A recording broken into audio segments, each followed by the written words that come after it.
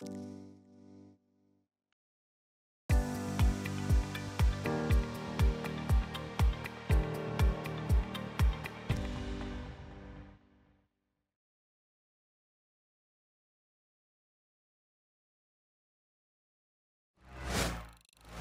привет.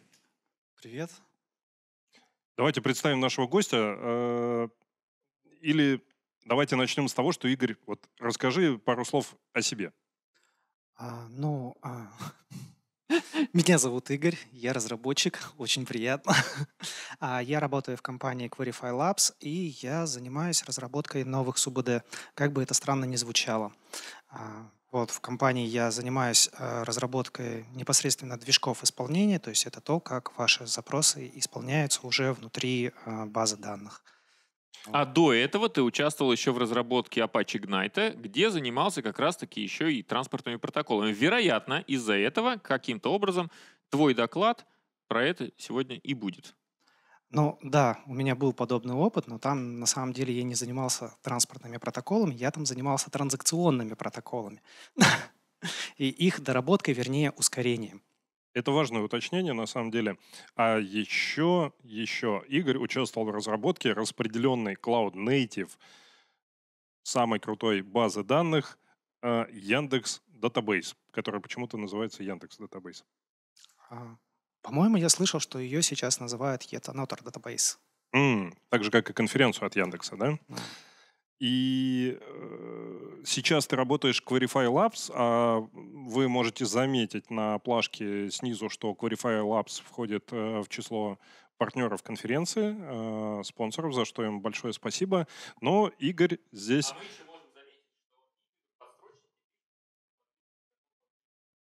Иначе будет не очень слышно. Андрей предупредил Игоря, что нужно говорить чуть ближе в Чуть, микрофон. чуть более в микрофон. Да.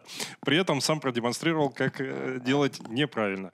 Но, смотрите, э, Игорь сегодня, сейчас выступает в главной студии, а дальше э, будет доклад про Apache Arrow.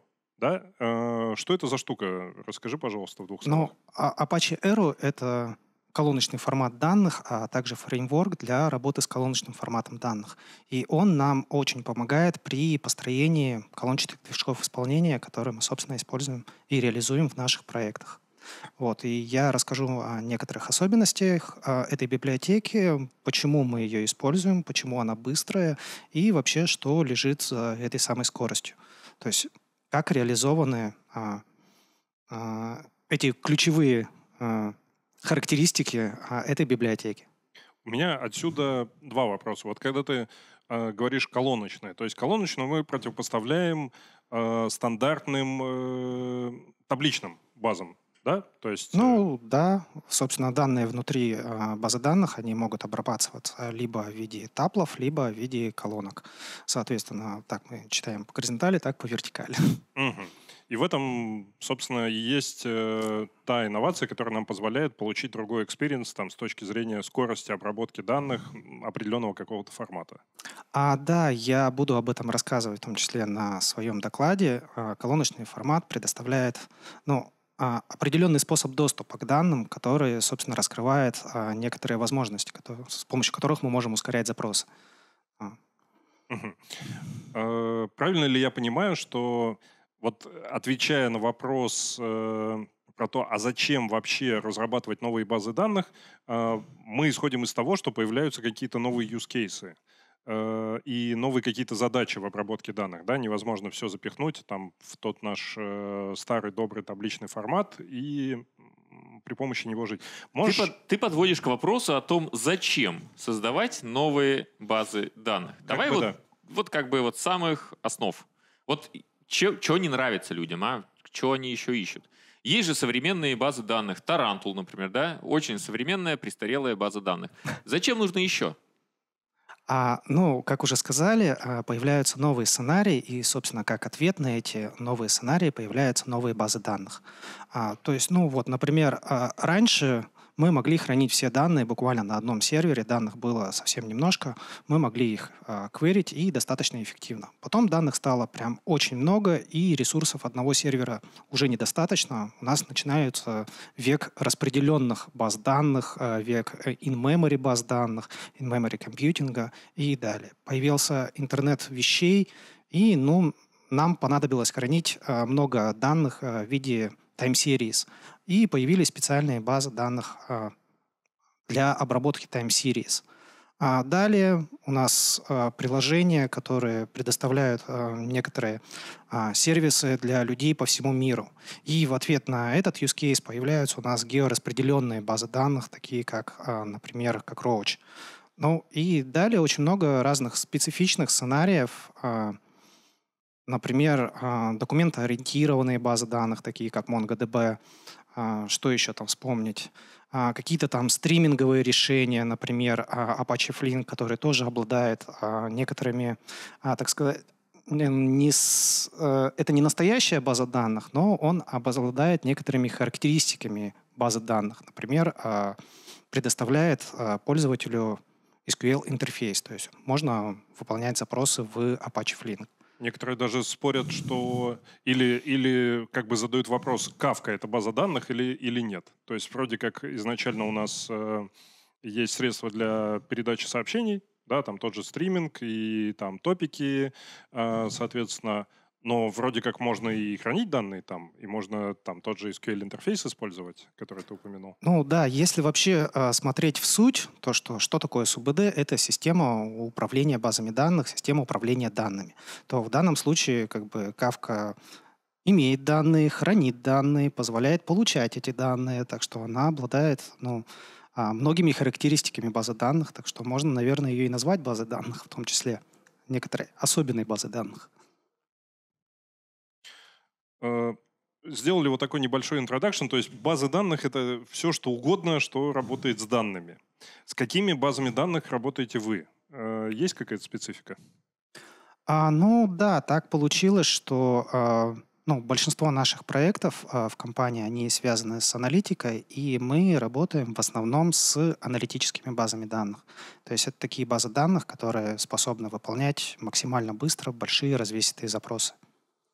Это что-то типа слова «алап», которое вот приходит... Э, на... а, да, да, это типа этого самого слова. То есть есть э, транзакционные базы данных, э, ну, наши там наиболее привычные нам, да, э, там, где мы э, там, где мы э, данные добавляем, изменяем, там, не дай бог, удаляем, и, ну, запрашиваем, как правило, там из одной или нескольких э, справочных таблиц данные, да, а в случае Solab у нас, значит, много-много таблиц, которые мы там регулярно всячески разными способами объединяем для того, чтобы получить э, то, что просит пользователь. Э, правильно ли я описал специфику и что для нас это, в принципе, значит? Ну, в целом, да, довольно правильно. Я тоже на своем докладе буду э, описывать разницу между OLTP и OLAP сценариями. А, дело в том, что OLTP — это в основном транзакционная нагрузка. То есть это а, очень маленькие транзакции, это вставка изменений и какие-то небольшие запросики.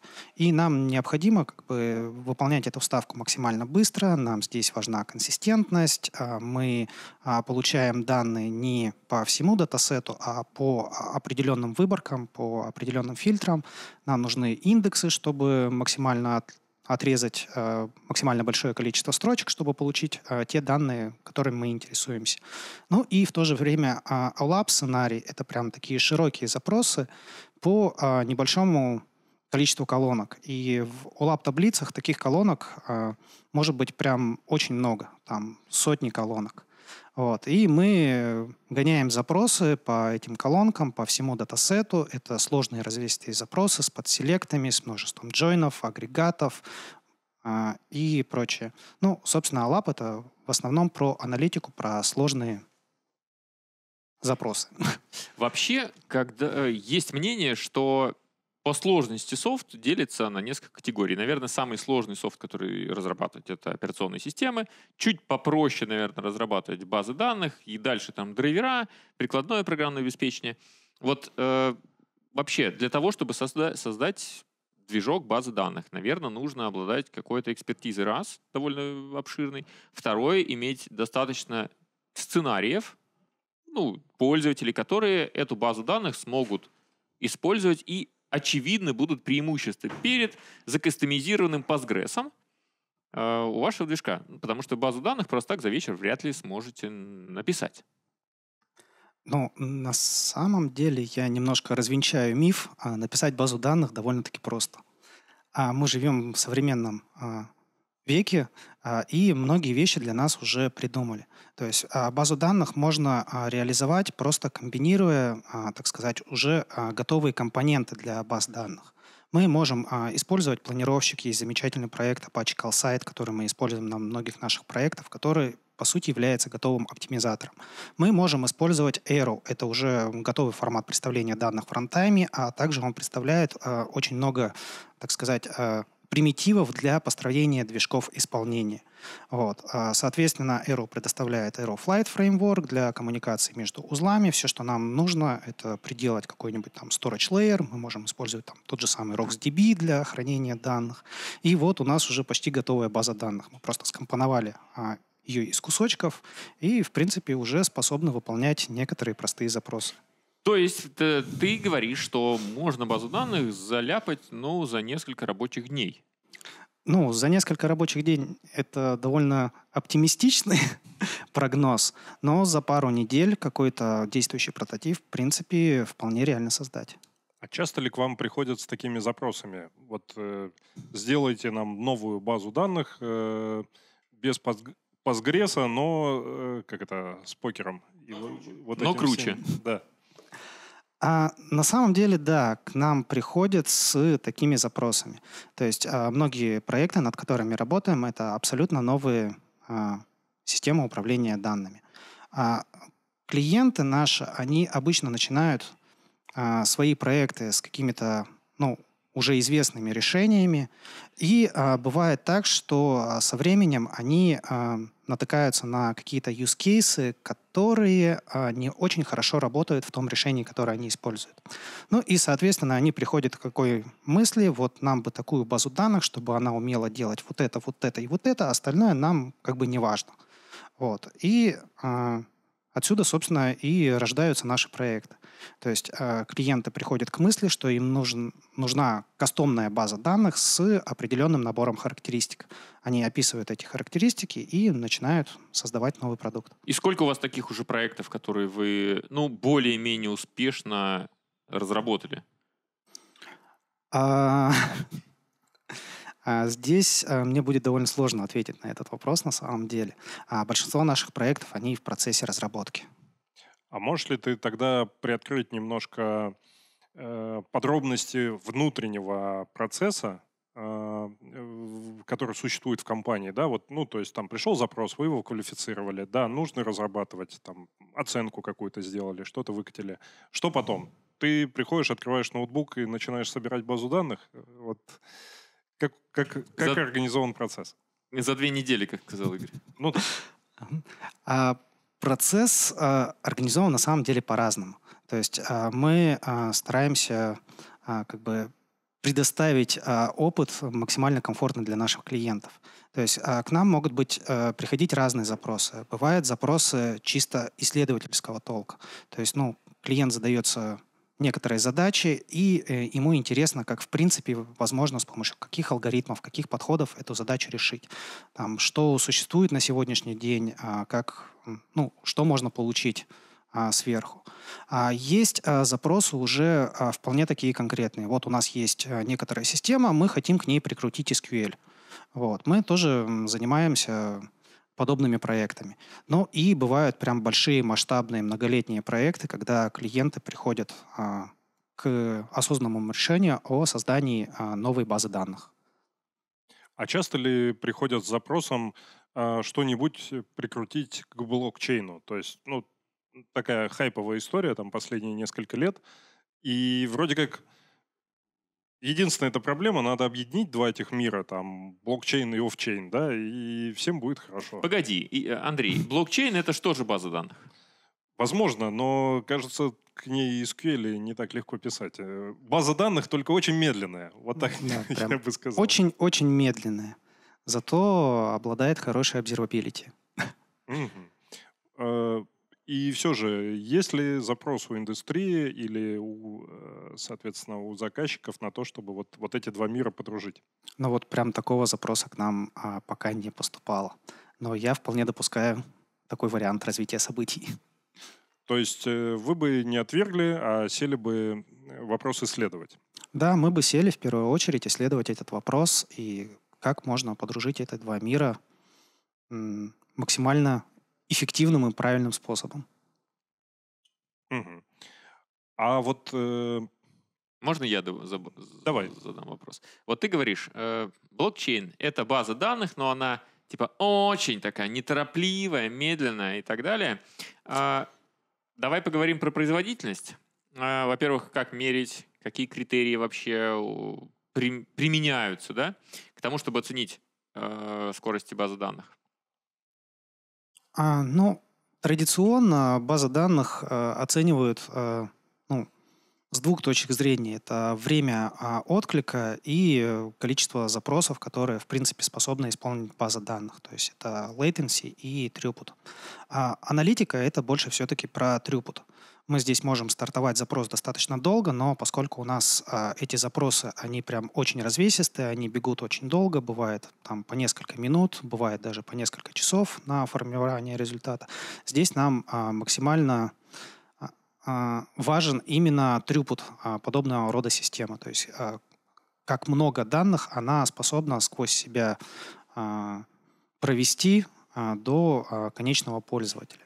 Ну и, соответственно, здесь нам а, а, важна а, именно эффективность реализации тех или иных а, операторов, которые мы используем при построении движка исполнения. Операторов ты имеешь в виду, операторов работы с, с данными? А, ну, да, я имею в виду именно реляционные операторы, такие как а, фильтрация, проекция, агрегация, либо джойны. Так, погоди, сейчас буду сгинать пальцы. Значит, throughput ты сказал, и второе — это скорость э, выполнения операций, да?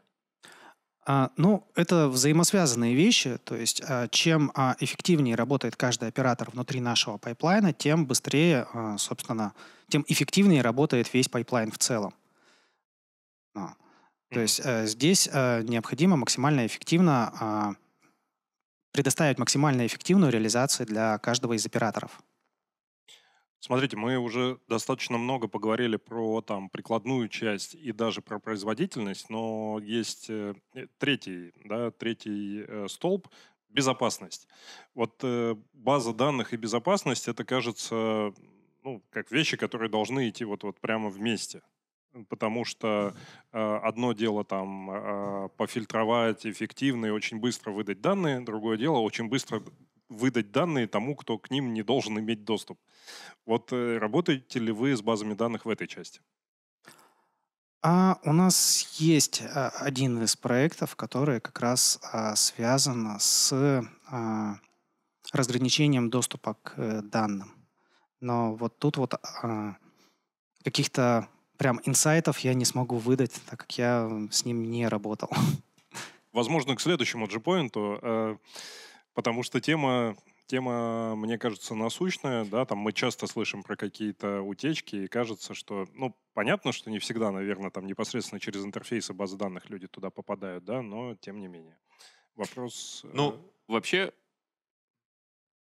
мне кажется, следующая тема это блокчейн все-таки. Давай блокчейн на Джокер, а на следующий G-Point тогда будет уже безопасность. Мы отлично все распланировали. Договорились. Да.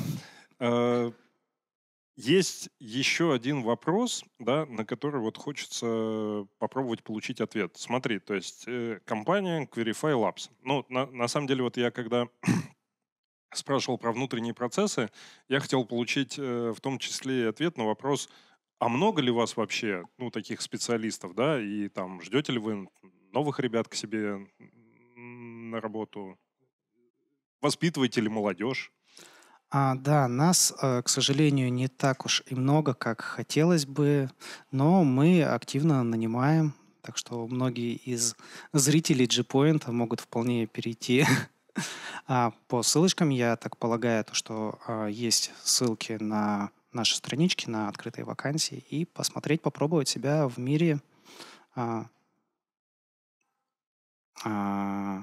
в мире разработки Да, в мире разработки движков Игорь, баз данных. у меня к тебе Спасибо. вопрос. Вот G-Point. Сколько раз ты был на G-Point? О, прям сложно вспомнить. Я так достаточно активно посещаю ну, Джокер и И G-Point. первый раз спикером. Да, спикером Поздравляю первый тебя. раз. У меня к тебе вопрос. С, че- с каким словом, одним словом ассоциируется G-Point у тебя? А G-Point, ну, довольно сложный вопрос на самом Да деле. ладно, давай уже, тут это, сеанс э, психотерапии. Да, наверное, все-таки с некоторым хардкором. Вот, ты правильно попал в точку. Это импровизация, он не- мы не договаривались. Мы сейчас с вами говорим, как процесс разработки, а нужно ли нам базу данных вообще. Давайте по существу. Хватит уже тут наматывать сопли. Короче, расскажи про технологии. На чем пишутся базы? Какие должны быть скиллы у человека, который сидит и такой думает, как мне задолбало парсить XML. Хочу что-нибудь серьезное. Вот Хочу что- парсить SQL. Да. Хочу парсить SQL. Да. G-point в начале. J, значит, что-то связанное с Java, вероятно, но не все. Итак, давай по технологическому стеку. А по технологическому стеку, ну, база данных э, состоит из нескольких компонентов. То есть это слой хранения, слой исполнения, это оптимизатор запросов. А, вот. А в качестве оптимизатора запросов на многих проектах мы используем а, Apache Calcit. То есть это написанный на Java фреймворк, э, который занимается непосредственно парсингом SQL, его валидацией и а, оптимизацией. Игорь, уточняющий вопрос. Вот смотри, слой хранения данных. Я правильно понимаю, что слой хранения данных, я вот файлик открыл, туда написал 10 строчек и э, написал приложеньку public static void main, который этот файлик зачитывает и выводит на экран. Вот у меня типа data layer готов. Квыря готова, да? А теперь нужно еще накрутить туда язык и исполнитель запросов, да? Да, да. Вот. То есть получается, что я могу взять все, что угодно. Файлик, что там, э, память какую-нибудь могу взять, что-то еще. Файлик, а, S3, Да, да, совершенно верно. А мы же про облака еще, да? да. А вот это вот э, исполнитель и оптимизатор, это что такое? Что это значит? А, Исполнитель э, это, по сути, э, у нас э, набор процессов, который, собственно, занимается трансформациями данных. То есть это процесс, в рамках которого запущен Data Transformation Pipeline. Таких процессов может быть много, он может быть один, они могут быть на одном узле, они могут быть на нескольких узлах, и в таком случае это у нас уже распределенная система исполнения распределенных запросов. Вот. А, а, такие исполнители, мы их а, пишем а, довольно-таки часто на плюсах с использованием библиотеки Arrow. То есть это набор а, computation кернелов и некоторый пайплайн, который их использует. И мы там, собственно, трансформируем данные. Но для того, чтобы трансформировать данные, нужно понять вообще, э, как их трансформировать. То есть мы должны каким-то образом раз- распарсить запрос. Да? Кто, это, кто этим занимается? А в данном случае за это ответственен а, как раз Apache CallSite. То Но ты есть- говорил, что это оптимизатор. Я думал, что оптимизатор это который... Да, А, ну это да. оптимизатор, но не только. Ага. Это оптимизатор, это парсер, это валидатор. Андрей, ты как будто на G-Point первый раз. По, по поводу этих технологий уже были доклады, на самом деле. Там можно пересмотреть. Вот э, в предыдущие годы и про кальцит говорили. А, собственно говоря, Владимир Озеров выступал. Владимир Озеров выступал и на Гидре. И, кстати говоря, давал интервью тоже. Посмотрите, если интересуетесь темой. Это прямо такая штука. Э, не хочу отходить далеко от кишочков, но на самом деле, вот э, дополняя твой вопрос, а, хочется спросить, насколько верно утверждение, что баз данных много, но язык для них для всех один. Вот SQL, сколько лет его уже побеждают, улучшают и ищут альтернативу, но все никак э, не найдут. Кстати говоря, про SQL. А какая сейчас э, самая модная версия? Там же периодически э, обновления, так сказать, выходят.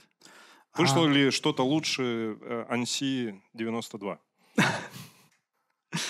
Да. В, лучшей NC92 еще ничего не вышло, поскольку он поддерживается большинством баз данных. Ну, 92 ну, нет, на самом же, деле это, это шутка, конечно.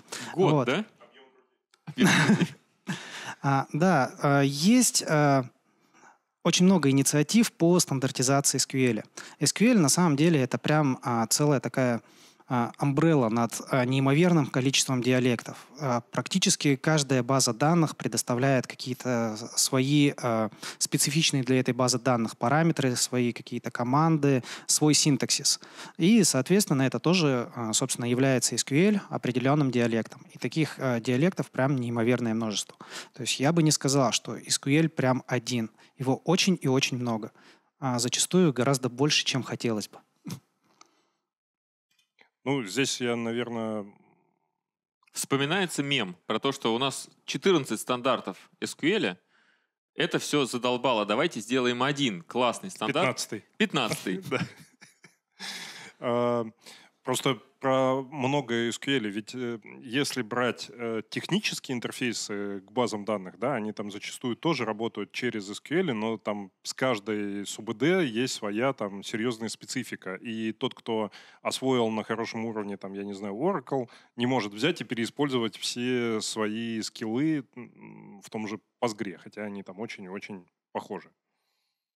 А, да, ну, в рамках SQL вообще различают а, DML а, запросы и DDL запросы. Вот, а DDL запросы, они а, практически всегда а, очень специфичны от а, базы к данным, от базы данных а, к базе данных. То есть даже а, просто синтаксис create table порой очень сильно различается между разными вендорами. То есть там уже как бы очень много специфики, которые нам дает та или иная СУБД. И, собственно говоря, то есть, с одной стороны, есть э, тот слой, который позволяет выжить максимум, но еще нужно знать, что подать на вход э, вот этому самому, там, как сказать, тому, кто считает план выполнения, да, то есть тому, кто определяет, э, как, как эффективно действовать. То есть есть всегда какие-то хинты, подсказки, там какие-то ухищрения. Вот есть какой-то универсальный, э, скажем так, э, рецепт, как сделать быстрый запрос? А, это прям а, очень провокационный вопрос. А если бы был такой святой грааль оптимизации и исполнения ну, оптимизации запросов, то никакие бы хинты нам бы никогда не понадобились. На самом деле любой э, хинт э, это подсказка оптимизатору, что делать в той или иной э, ситуации, чтобы он не рассматривал какие-то э, заведомо негативные сценарии. Но э, в данном случае э, для того, чтобы максимально эффективно э, исполнить тот или иной запрос, нам нужен э, максимально продвинутый оптимизатор. У меня вопрос такой. Вот если мы говорим про такое легкое а, создание нового движка баз данных, то что ты можешь сказать про то, что... Ну вот мы взяли, сляпали какой-то там а, очередной движок под определенные нужды, вроде как работает, и в какой-то момент либо вводные поменялись, либо мы на каких-то тестах вскрыли проблему. Мы, насколько легко поменять какой-нибудь кусочек, э, там, не знаю, не кальцит, а что-нибудь другое впилить. Насколько этот Франкенштейн вообще переживает легко ампутацию того или иного органа? Ну, если мы смотрим а, прямо на выдергивание одного большого блока и замены а, другим большим блоком, а, то вот а, сейчас а, на ум а, приходит как раз а, инициатива, которую а, драйвит в том числе а, Aero Community. Это такой а, проект Substrate, а, который а, ну, как бы описывает а, некоторый генерализированный а, язык взаимодействия между оптимизатором и слоем исполнения. Вот. И, собственно, оптимизатор у нас а, работает над планом, и он выдает этот план в виде substrate дерево исполнения, которое мы просто передаем а, в наш execution engine и исполняем. И вот в такой вот а, замечательной картинке, а, в принципе, мы можем а, взять и поменять один оптимизатор на другой. Главное, чтобы они просто поддерживали формат substrate. Или мы можем даже взять и поменять один execution engine на другой, и тоже главное, чтобы они его поддерживали. Вот. Но а, как бы в текущий момент эта инициатива, она находится в разработке. И вот лично я прям а, возлагаю на нее большие надежды. Это бы было прям очень здорово а, делать такие pluggable а, databases, где мы можем прям выдернуть один компонент и заменить его другим. Смотри, э, ты вот сказал, что оно сейчас в разработке, а принимаете ли вы участие в разработке соответствующих стандартов, э, ну или там расширение вот этих вот инициатив, и какое вообще место у российских датабейс-строителей, ну, назовем так, вот, у российского комьюнити в общемировых трендах? А что касается нас, а, мы принимаем а, ну, а, участие как раз а, в развитии а, проекта Apache CallSite. То есть а, в тех активностях, в тех комитах, которые приходят в проект. Вот. что касается прям места российского комьюнити в мире баз данных, ну, у нас есть Postgres Professional и очень много комитов а, от а, русских разработчиков а, идут, собственно, в Postgre. Это прям такой большой-большой а, пласт работы, которым как раз занимаются наши соотечественники.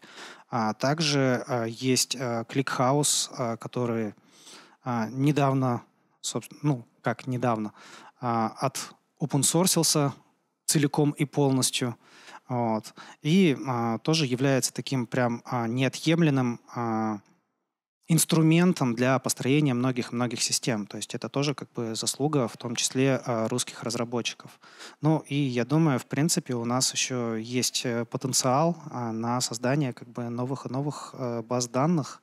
Вот. Э, я смотрю на моих коллег, на тех людей, с кем я встречаюсь там на конференциях, каких-то там профессиональных мероприятиях, и у нас очень много прям классных-классных инженеров. Кстати, про профессиональные мероприятия. Вот э, что ты персонально для себя выбрал бы в качестве участия э, среди профильного сообщества? Ну, кроме G-Point, естественно, конечно. А, это вопрос касательно тех а, конференций, на которых я заинтересован. Ну да, да. Ну вот конкретно мне а, очень нравятся а, конференции Гидры. Там прям очень много классных докладов, которые э, прям попадают в тематику моих интересов. То есть э, распределенные системы, распределенные базы данных э, и прям хардкор. Еще я вот посматриваю на тех толки, которые э, появляются на Сигмоде. То есть это прям такая академия, э, оттуда приходит все новое, что э, рано или поздно реализуется в мире баз данных.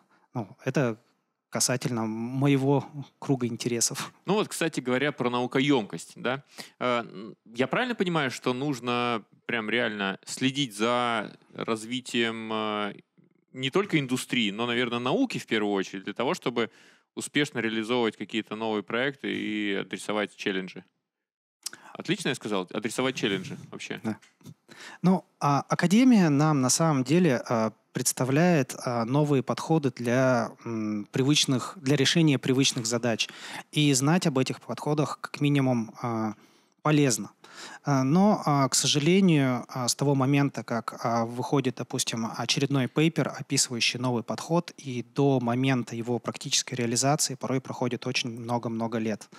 Вот. И это прям иногда бывает печально. Но, в принципе, как бы следить э, за академией это прям очень хорошо. А некоторые вещи там могут быть прям очень полезны. Ты вот интересный момент упомянул. Скажи, пожалуйста, э, кажется, что прямо сейчас, э, да, там в реализации есть некоторые идеи, которые были высказаны там достаточно давно, э, но вот там только-только добрались, э, ну там задача появилась соответствующая, да, или технологии доросли до того, чтобы какие-то специфические индексы реализовать, какие-то протоколы. Э, есть вот такие вот примеры из прошлого? А из прошлого, ну вот я могу, например, вспомнить э, Яндекс Database, который э, реализует э, э, протокол, то есть это относительно такая э, молодая э, вещь, то есть это а, пейпер, который был э, написан, если я не ошибаюсь, по-моему, в 2016 году. А, в мире баз данных это прям а, очень-очень недавно. Это вот А в чем там суть, если в двух словах для неспециалиста? Вот.